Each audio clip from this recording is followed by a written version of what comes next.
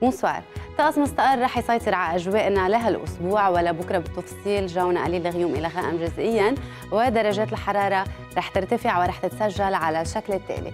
نبدأ جولتنا مع عكار و16 درجة 17 بطرابلس وبالعاصمة بيروت و18 بصور ننتقل إلى بعلبك مع 8 درجات 4 باللقلوق 10 بزحلة و11 بجزين نسبة الرطوبة عم بتسجل أقصاها على السواحل 75% رياح اتجاهها شمال غربي وعم بتسجل سرعتها 35 كم بالساعة. محل البحر فهادي.